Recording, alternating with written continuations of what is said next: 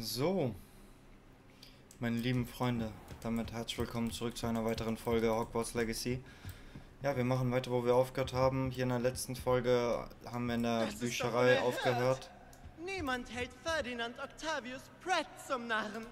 Und ja, wir machen mal hier Gemäldequest. Sir, geht es Ihnen gut? Sie scheinen ziemlich aufgeregt. Gut? Sehe ich aus, als ginge es mir gut? Ich wurde entführt. Wie können Sie entführt worden sein, wenn Sie hier sind? Was ist das denn für eine Frage? Natürlich bin ich hier. Ich habe mehr als einen Rahmen. Haben Sie etwa nur ein Haus? Mein anderer Rahmen. Er wurde gestohlen. Und zwar von Schülern. Man heuerte dreckige Diebe an, um meinen Zweitrahmen zu klauen.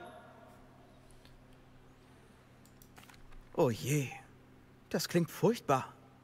Allerdings, Astoria Cricket ist einfach furchtbar. Sie steckt hinter alledem. Sie und ihre Freunde beschwerten sich über mich. So eine Unverschämtheit. Dann hörte ich, dass sie irgendwelche Tunichtgute anheuern wollte, um mich aus den drei Besen zu stehlen. Dort hing mein anderer Rahmen. Eine ziemliche Bruchbude, aber es könnte wohl schlimmer sein. Ich kannte mal ein Porträt, das im Eberkopf landete. Seither hat niemand von ihm gehört. Gut. Zurück zu Ihrem Rahmen. Ah, ja. Ich war gerade dabei, nichtsahnend meine Perücke zu pudern, als diese Schurken auftauchten und mich mitnahmen. Ich kann mir nicht leisten, meinen Posten zu verlassen. Meine Arbeit für den Schulleiter ist wichtig und ich brauche meinen anderen Rahmen in den drei Besen. Aber wer ist Astoria Cricket und was will sie mit ihrem Rahmen? Sie ist eine Viertklässlerin, die ständig Ärger macht. Sie und ihre Bande von Tunichtguten reden vor meiner Nase über ihre Missetaten und verübeln mir, dass ich mithöre. Ich kann nur vermuten, dass sie meinen Rahmen in der törichten Annahme stahlen, mich für meine Arbeit bestrafen zu wollen. Was meinen Sie mit wichtiger Arbeit für den Schulleiter? Sagen wir, ich bekomme in Seronas schönem Gasthaus eine Menge mit. Und der Schulleiter interessiert sich sehr dafür. Er zählt auf mich, was das angeht. Wie damals, als ich Vertrauensschüler war. Wissen Sie vielleicht etwas über den Ort, an dem sich Ihr Rahmen befindet? Können Sie etwas von dort sehen? Aber natürlich, Sie haben mich ausgerechnet in eine Ruine gebracht. Ein baufälliges Gemäuer, umgeben von Wasser, wie es sich anhörte. Oh, und unterwegs habe ich die Küste sehen können. Ich könnte mir die Sache ansehen. Würden Sie das tun? Wunderbar. Aber bitte tun Sie es schnell. Der Ort, an den ich gebracht wurde, ist unter meiner Würde. Dann ab mit Ihnen. Das Ministerium wird davon erfahren. Diese Sch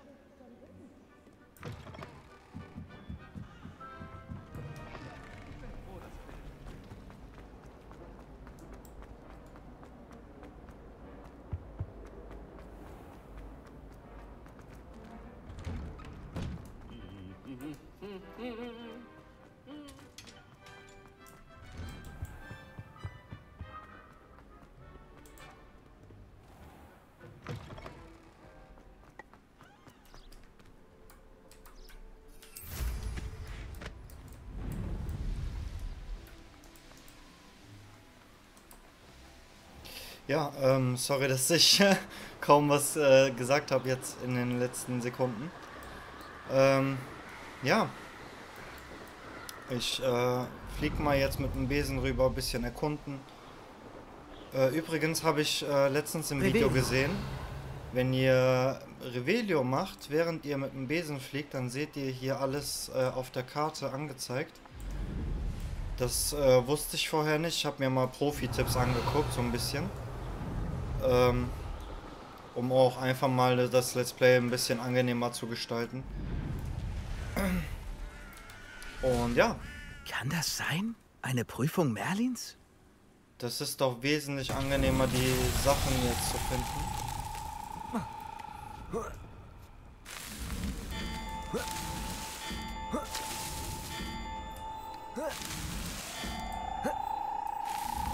Tada! Damit wäre das Geschafft. erledigt.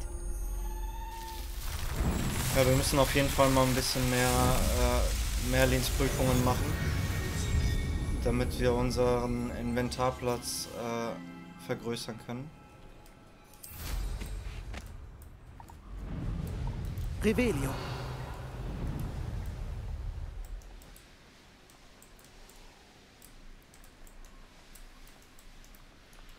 So, hier müssen wir absteigen.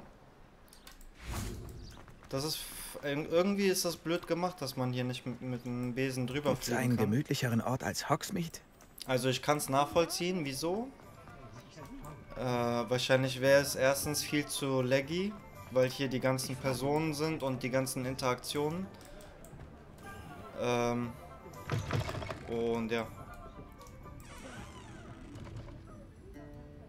Aber anders, andersrum wäre es doch wesentlich authentischer, wenn man überall durchfliegen könnte, ohne Barrieren. Astoria Cricket? Kommt drauf an. Kriege ich Ärger? Wenn's nach Ferdinand Pratt geht, schon. Du hast seinen Rahmen gestohlen. Gestohlen würde ich nicht sagen. Eher umgelagert. Wie drücke ich das nett aus? Ferdinand Pratt ist ein lästiges Geschwür. Er hat Glück, dass ich ihn nicht eingemauert habe. So schlimm ist er nicht. Oder? Er spioniert doch eh nur die Schüler hier aus und petzt alles dem Schulleiter. Und wenn es nichts zu berichten gibt, erfindet er einfach was. Letzte Woche musste ich vier Stunden nachsitzen, weil er Black erzählt hat, dass ich plane, den See trocken zu legen. Was immer das heißt. Da platzte mir der Kragen. Er und sein Rahmen mussten weg. Darf ich fragen, wo er ist? Tja, er ist wahrscheinlich bei den netten Herren, die ich dafür bezahlt habe, ihn zu klauen. Sie kampieren in einer Ruine am Meer. Ich wollte ihn nur weit genug weghaben, um nie wieder an Ferdinand Pratt denken zu müssen. Sicher schreit er schon wieder in der Bibliothek herum. Oh, bei Merlins Bad. Wenn du mich fragst, soll er sich nicht beschweren. Er hätte auch im Eberkopf landen können. Das hätte er gehasst. Schmutzige Wände, Ziegengeruch. Und die Kundschaft erst. Die verspeisen feine Prinzen wie ihn zum Abendessen. Aber es ist, wie es ist. Er ist nicht mehr hier und ich finde, das sollten wir genießen. War nett mit dir zu reden.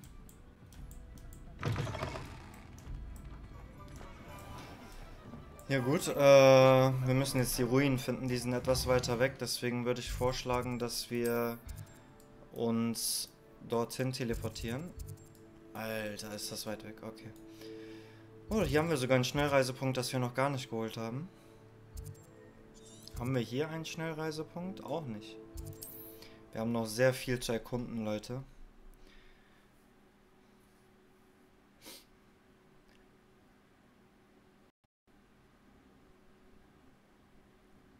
Noch richtig viel zu erkunden auf jeden Fall.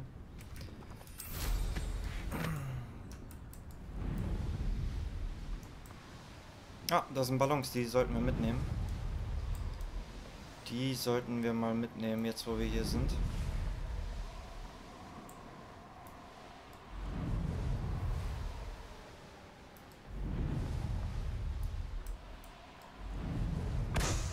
Eins, zwei,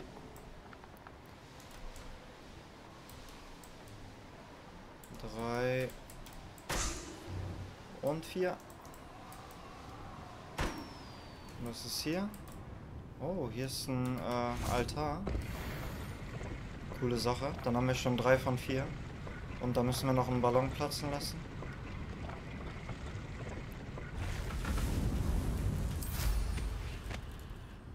Warte mal. Warte mal, warte mal. Wegen dem Schatz. Der Hippogreif weist dir den Weg. Könnte das die... Ka äh, da müssen wir da sowieso hin? Ach, guck mal einer an. Das sieht doch aus wie, wie das Schloss, äh, wo wir hin mussten, ne? Und hier ist sogar eine Feuerstelle in der Nähe. Das muss ich mir mal gleich anschauen. Wir müssen sowieso dahin. Aber erstmal checke ich hier ab, ob wir hier den Schatz finden. Ich glaube, hier war ich sogar schon mal. Hier waren Inferni. Wenn ich mich recht erinnere.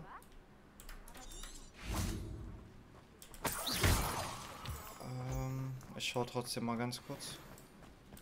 Revelio.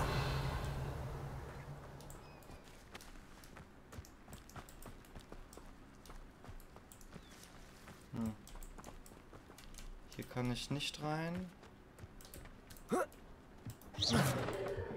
Hier kann ich rein. Und hier dann Akio. mit Akio das Tor aufschließen. Coole Sache. Katzen. Okay, wenigstens einen, wenigstens einen. Jetzt kommt wieder dieses komische Miau-Geräusch. Das haben die richtig strange programmiert, den Sound. Revelio. Gut, dann gehen wir mal hier rein. Warte mal, kann man, kann man hier drauf springen? Nein, kann man nicht, okay. Okay.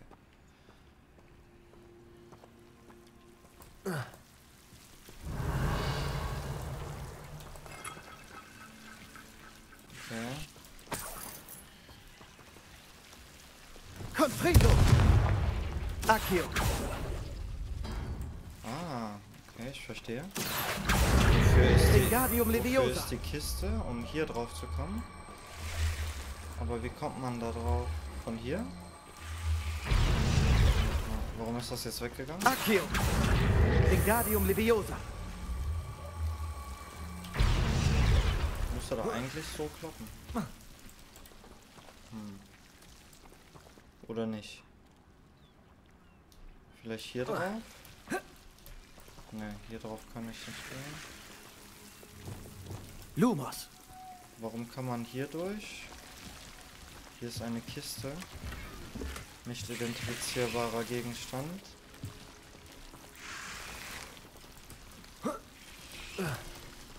Hm. Frage ist, wie kommt man da hoch? Wenn nicht von hier. Dann müsste doch eigentlich früher hochspringen, oder nicht? Hm. Immer wieder ein Rätsel. Immer wieder ein Rätsel.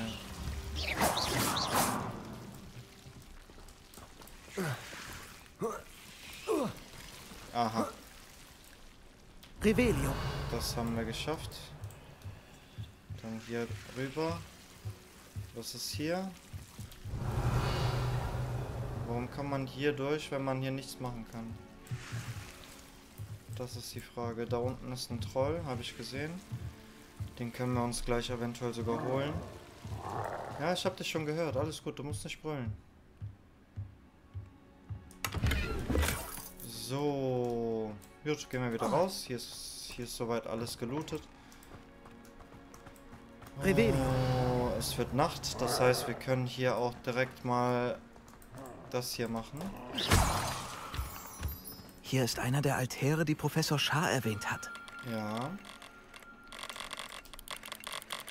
Professor Shah ist ein Genie.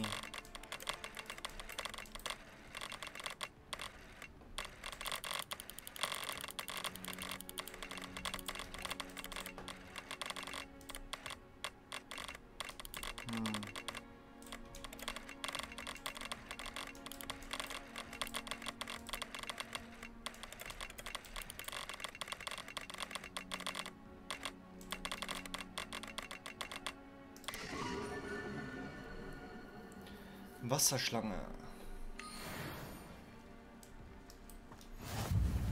Herausforderung abgeschlossen. Finde aus Astronomie Altäre.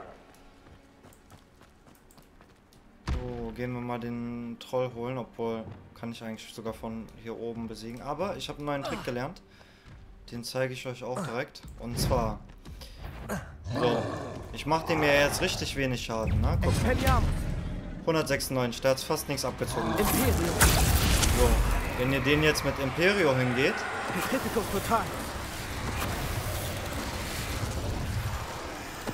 könnt ihr... Ich erkläre es euch gleich, es ist gerade ein bisschen laut.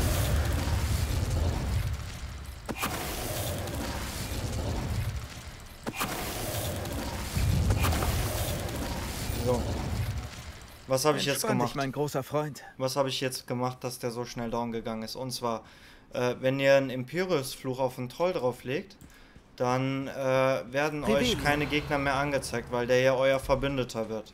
Und äh, deswegen könnt ihr den mit Petrificus Totalis äh, halt instant besiegen. Normalerweise ist das ein Instant-Skill. Wenn ihr einfach nah rangeht und F drückt oder auf der Playstation weiß ich nicht, was für ein Knopf das ist, dann äh, kriegt er wesentlich mehr Schaden. Und ja, das könnt ihr halt benutzen, um die Trolle ganz einfach zu besiegen. Revelio. So. Hey, stehen bleiben. Hast du mich gemeint? Okay. Ich komme. ich mich mal bei Falcroft nach Beute umschauen. Bin da. Mal schauen, was deine Leiche in den Ferienladen Dezember gefreut hat. Ja, dann greift euch mal gegenseitig. Ich weiß, dass du, du und diese verfluchten Zentauren, ihr musstet euch einfach einmischen und all diese Schnatzer retten. Wie viele von uns dort? Ich werde dir das Leben nehmen. Hast du was war das? Was war das eben? So. Confringo!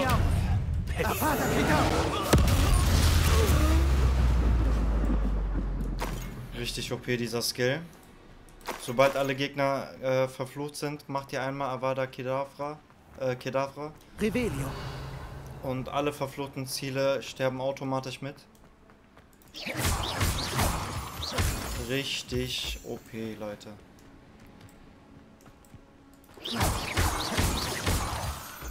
Und Avara, äh, Avada Kedavra ist ja so gut wie bei alles One-Hit, außer bei Trollen, glaube ich, und Bossen halt. Revelio. Dieses Porträt wird niemand Lösegeld zahlen. Crucio. Expelliarmus. Imperio. Verschwinde.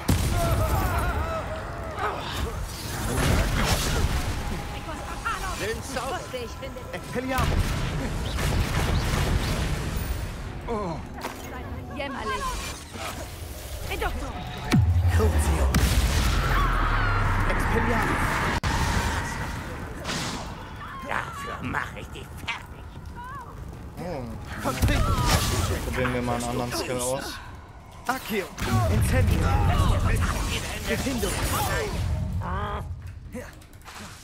Defindo. Confringo. Accio. Incendio. Crucio. Expelliarmus. Avada Kedavra.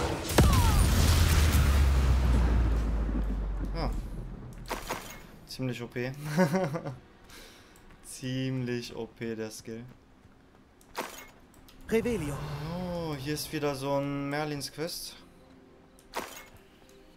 Das Ma- könnte gefährlich werden, Machen, wenn ich nicht machen wir die aufpasse. mal ganz schnell.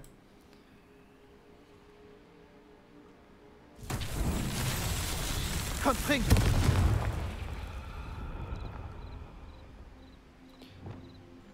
Lazio. Hm, Ich weiß nicht mehr, was man da für eine Fähigkeit gebraucht hat. Ich glaube, das war Levioso, Levioso.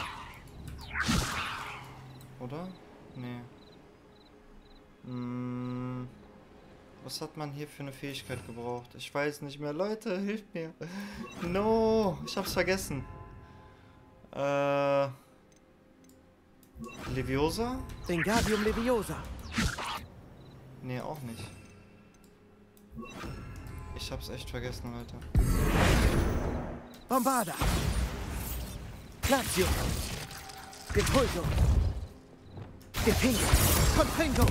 Incendio. Accio.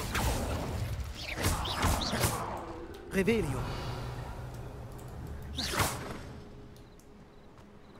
Ach nein, das war mit den Schmetterlingen. Stimmt. Lumos. Stimmt. Jetzt erinnere ich mich wieder. Revelio. Ich hab komplett vergessen. Die Schmetterlinge. Lumos. Na kommt. Ah, ja, toll. Jetzt bin ich runtergefallen. Zum Glück ist es nicht weit. So, und für das dritte müsste doch, müssten doch hier Schmetterlinge sein. Oder? Irgendwo hier?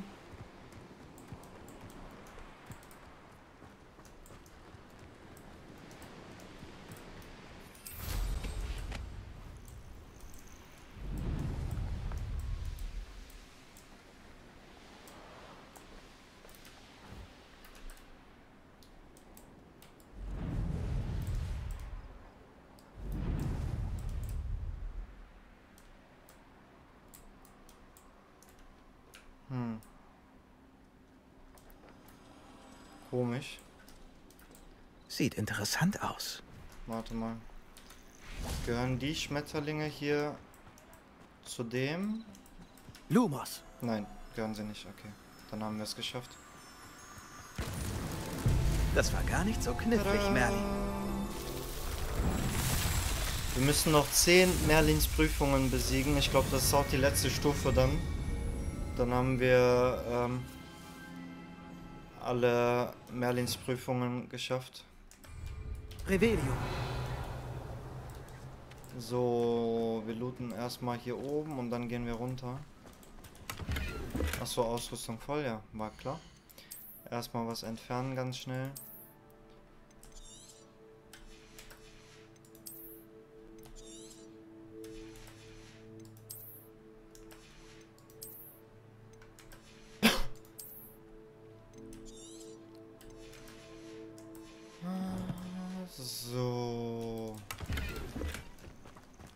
Revelio.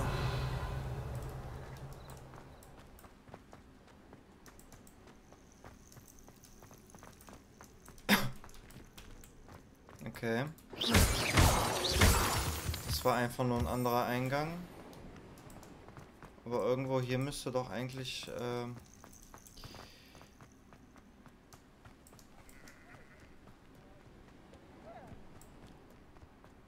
Ist hier unten noch ein Eingang?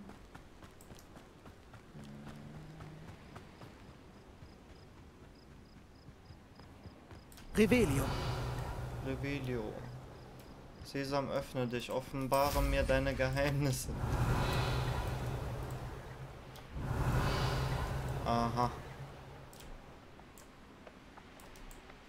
Da ist es.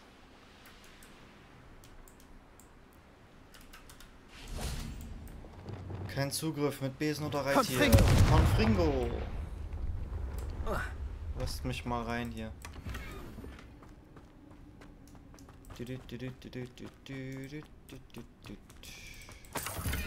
Hier ist nur eine Truhe. Das war der falsche Weg.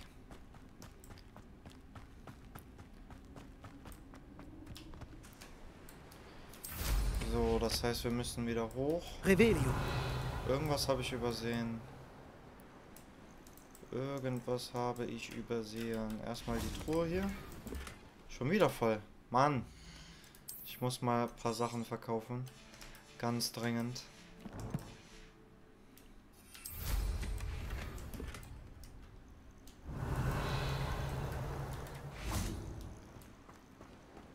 So. Das sollte ich untersuchen. Wir gehen mal hier runter. Ah, das ist der richtige Weg, glaube ich. Da ist es doch. Alohomora.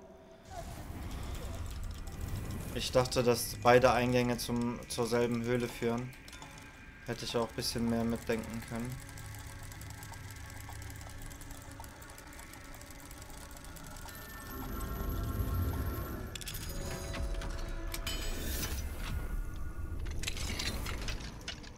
Revelio. So, Wurde aber auch Zeit, dass überhaupt noch etwas von mir übt. das überhaupt noch hat. Hey, der ist richtig frech. Den sollte man echt in. Äh, wo hat sie gesagt? In der in der einen Kneipe sollte man den ab, abliefern. Ganz ruhig. Bei dem Ich bin ja äh, da. Schweinekopf. Ruhig! Diese Tu-nicht-Gute da draußen Ne, Eberkopf davon, war das, ne? Eberkopf. Mich! Wenn Sie mehr als eine Gehirnzelle hätten, wäre Ihnen klar, dass ich unversehrt und in den drei Besen mehr wert bin. Warum das? Ich bekomme so viel mit. Ich bin eine wahre Schatzkammer an Informationen. Jetzt stehen Sie da nicht einfach herum. Ich muss zum Abendschnaps zurück sein. Ohne mich ist in der Bude nichts los. Was, wenn ich sie nicht zu den drei Besen zurückbringen will? Was in aller Welt meinen Sie? Was, wenn ich sie in den Eberkopf bringen würde? Er hat einen guten Ruf. Wie überaus amüsant. So dann, in die drei Besen bitte. Man vermisst mich sicher schon sehnlichst. Und tragen Sie mich gefälligst vorsichtig, ja? Meine Hosen sind schon ganz zerknittert. Ich Wo haben weiß. Sie mich hingebracht? es ist stockduster hier. Das werde ich nicht dulden. Ich weiß, ich habe gesagt, wir spielen gut, aber das ist jetzt wirklich nicht böse, den am Eberkopf abzuliefern. Der ist sowas von frech. Und äh, ich glaube der Schülerin, wenn, wenn sie sagt, dass der auch Sachen erfindet, äh, nur um, um sich über sie lustig zu machen.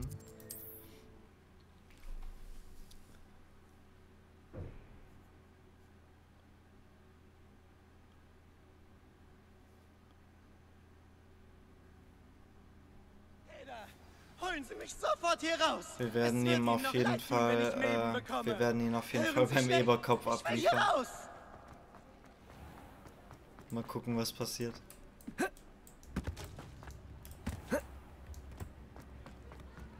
So schlimm finde ich den Laden gar nicht. Es ist ganz entspannt.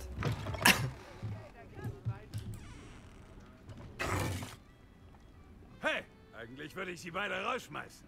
Aber mir gefällt der vornehme Kerl. Zielübungen.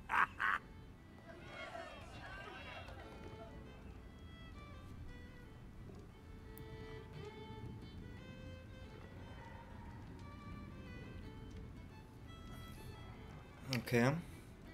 Mein Bildschirm ist schwarz. Ich glaube, ich habe das Spiel kaputt gemacht. Ich habe die ganze Zeit gut gespielt und jetzt habe ich einmal etwas Abwegeres probiert.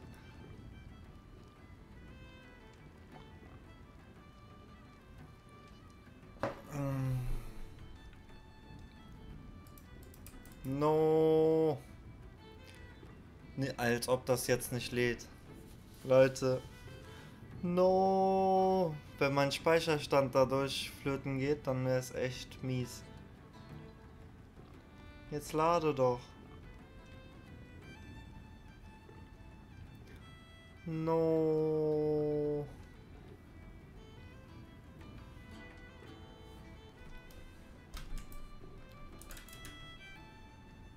No. Ja, ich würde sagen, ich starte das Spiel neu. Ähm, hat wahrscheinlich keine Rückmeldung. Äh, dann werden eventuell wird die andere Folge dann ein bisschen länger, um das ein bisschen auszugleichen. Vielen Dank fürs Zuschauen und bis zur nächsten Folge. Haut rein.